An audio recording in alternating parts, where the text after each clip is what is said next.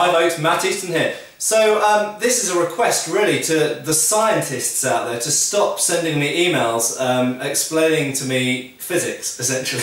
Um, I'm fully aware that uh, if I want to read lots of stuff about um, physics, mechanical physics and how things move and pendulums and all sorts of things, I can do it, and I have read some of it. Um, I have a mighty A level in physics, believe it or not. Um, a level doesn't count for much, but nevertheless, I did study physics at one point. Um, and uh, really, I keep getting told things by physicists uh, as if they're supposed to change my view on which part of my sword I hit things with. Um, and fundamentally, most of the physics that people are telling me is too basic.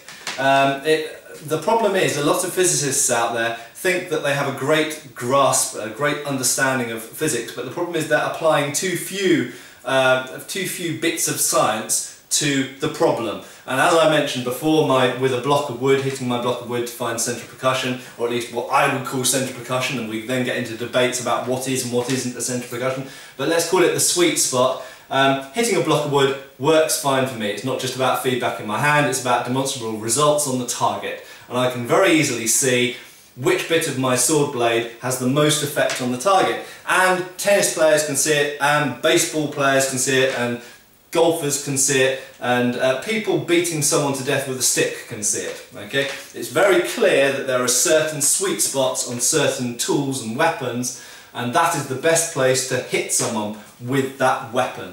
And uh, no matter how many times people tell me that central percussion can be outside the sword, man, and it can change with exactly where I hold the weapon and how I hold the weapon, and the, all these sort of things might be scientifically basically true, however, fundamentally, I know that with a given sword, given how I'm probably going to hold it, I know where my sweet spot is going to be with that sword, and I can even feel I can show and I can demonstrate where that sweet spot on that sword is.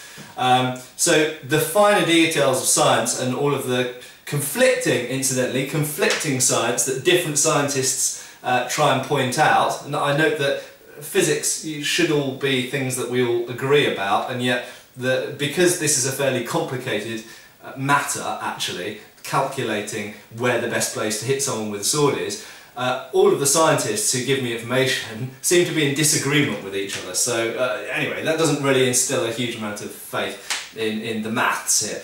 Um, but, uh, so fundamentally, this is a request to please physicists stop sending me patronising emails telling me that I actually need to, I would cut most effectively with a part of my sword which is up here.